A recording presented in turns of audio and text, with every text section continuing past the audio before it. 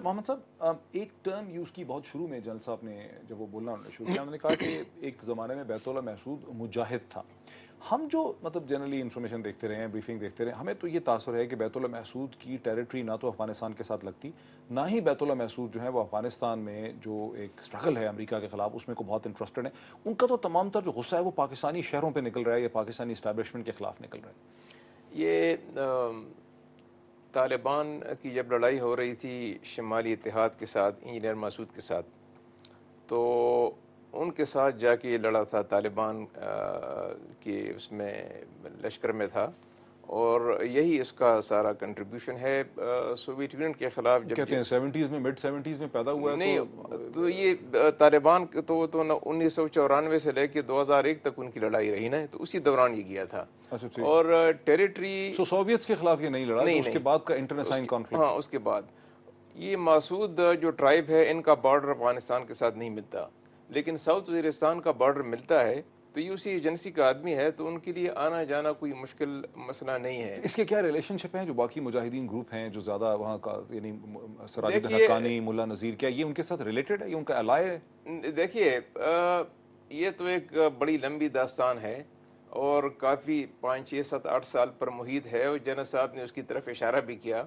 कि कौन से अवामिल थे जिनकी वजह से ये लोग उभरना शुरू हो गए, ये एमिनेंट हो गए स्टेज पर आ गए। उन्होंने अपनी फॉलोइंग की, अपने काफ़ी लोग उनकी उसमें आ गए, उनके लश्कर में शामिल हो गए, उनके साथ हमदर्दियाँ पैदा हो गई। नेक मोहम्मद के ज़माने में इसकी वो हैसियत नहीं थी। जब नेक मोहम्मद के साथ एक कोर कमांडर ने वहाँ जाके माहा किया तो उस माहे के सात दिन के बाद प्रेडेटर ड्रोन ने उसको ख़त्म कर दिया। इसी तरह बाजवल में जब माहा हो रहा था तो वो उसका जो हशर वो आपके सामने है। उसके बाद बैतुल्ला मसूद मंजर आम पर आया। बैतुल्ला मसूद जब मंजर आम पर आया तो ये साउथ वजीरस्तान में तो मसूद एरिया में तो उसकी फॉलोइंग बननी शुरू हो गई, क्योंकि मसूद में कोई दूसरा लीडर नहीं था इसके मुकाबले का। लेकिन अहमद जई वज़ीर का जो इलाका है, वहाँ पे मुल्ला नज़ीर जो था, वो ज़्यादा इफ़ेक्टिव था। फिर मुल्ला नज़ीर को हुकूमत ने, हुकूमत की एजेंसियों ने इस्तेमाल भी किया, वहाँ जो उज़बक से उनके खिलाफ। और उनके लश्कर ने कोई दो ढाई सौ उज़बकों को मारा और बाकियों को वहाँ से निकाल दिया।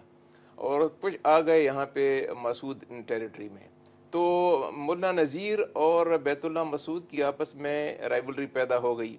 उसके बाद नॉर्थ वजीरस्तान में जो हाफिज़ गुल बहादुर है, उन्होंने अपना कमांड संभाल लिया, अपनी पोजीशन को कंसोलिडेट किया। इन तीनों तीनों की आपस में राइवलरी कायम रही। सात आठ महीने पहले एक इंपॉर्टेंट डेवलपमेंट हुआ। वो डेवलपमेंट ये हुआ कि इन तीनों ने मिल के एक अलायंस कायम कर लिया। और इस अलायंस के कायम करने के बाद उन्होंने बयान ये दिया कि हमारी अब फोकस हमारा फोकस जो है वो अफ़गानिस्तान में लड़ने पे है और पाकिस्तान में हमारा फोकस नहीं है। हमारी जो प्रायोरिटी है वो अफ़गानिस्तान में तालिबान के साथ जो क्वेलिशन फोर्सेस हैं उनके खिलाफ। इस तीन के अलायंस में कौन शामिल? ये मुल्ला गुल बहादुर हाफिज गुल बहादुर थे मुल्ला नज़ीर थे और बैतुल्ला मसूद थे। बैतुल्ला मसूद भी शामिल थे। हाँ बैतुल्ला मसूद ने यह करवाया बल्कि वो रूह रवान थे इसके। तो उसके बाद से ये सात छः सात महीने पहले की बात है उसके बाद से अमेरिकन को ख़तरा महसूस हुआ। कि पहले तो इसका जो एरिया था वो तो वजीरस्तान या एडजाइनिंग एरियाज़ वहाँ अमेरिकन का इसको टारगेट ना करने का आज तक क्या वजह समझ आती है? क्योंकि उनको ये खतरा नहीं था कि अफ़गानिस्तान में हमारे लिए मसला बन सकता है। अमेरिकन की पहली प्रायोरिटी ये है कि हर वो शख्स जो अफ़गानिस्तान में कोएलिशन फोर्सेस पे हमले करने की सलाहियत रखता है उसको नेस्त नाबूद किया जाए उसको बेबस किया जाए। क्योंकि इसका ज़्यादातर फोकस पाकिस्तान पे था बदकस्मती से और पाकिस्तान में ये गवर्नमेंट इंस्टॉलेशन और गवर्नमेंट सिक्योरिटी फोर्सेस को निशाना बना रहा था तो अमेरिकन को उसी कोई सरोकार नहीं था।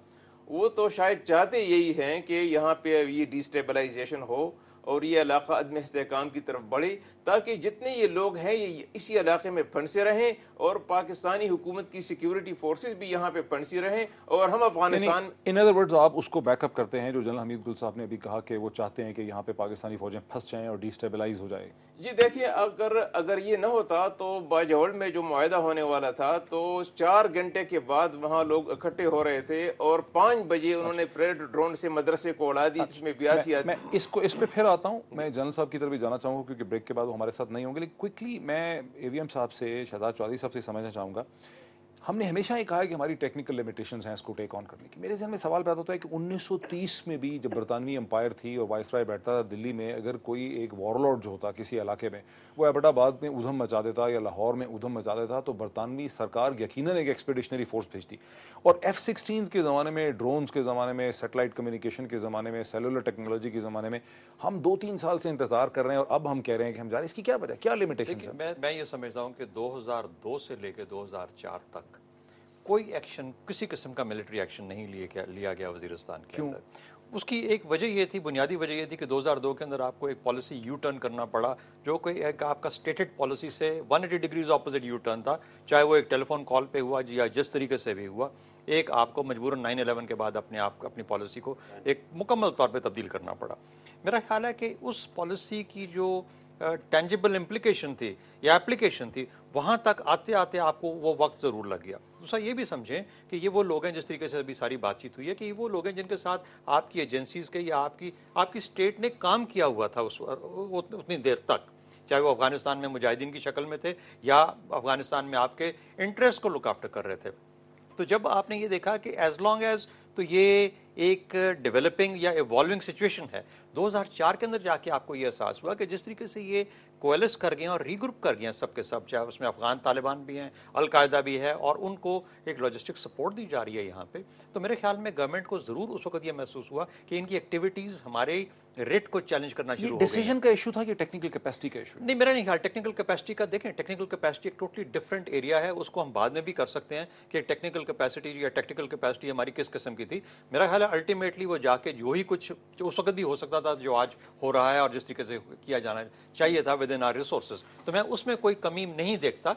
मेरा नहीं ख्याल कि वो है। मेरा अपना ख्याल ये है कि पॉलिसी को फॉर्मुलेट होते होते और एक स्टेट को एक थ्रेट महसूस होते होते ये दो साल का वक्फा लगा। तो 2004 के अंदर फाइनली जाके आपकी स्टेट ने सबसे पहले so बेसिकली डिसीज़न ये डिसीज़न मेकिंग माइंड बनाने में दो साल लगे मेरा ख्याल है मेरा ख्याल है कि एडजस्टमेंट करने में इतना वक्त लग गया हमीद कुल साहब वक्फे के बाद हमारे साथ होंगे। क्विकली उनसे यही चीज़ समझ लो। जनरल साहब ये आपने अभी देखा एवीएम शहजाद चौधरी साहब इसको एक्सप्लेन कर रहे थे। आप इससे एग्री करते हैं कि टेक्निकल कैपेसिटी मतलब एक कंबाइंड कमांडो ऑपरेशन और एयर बोन ऑपरेशन की कैपेसिटी हमारी थी लेकिन हमने डिसीज़न नहीं लिया? नहीं नहीं, बिल्कुल थी। कैपेसिटी के बारे में तो कोई शुभ ही नहीं होना चाहिए, लेकिन चंद एक अवामिल हैं जिनके ऊपर गौर करना ज़रूरी है।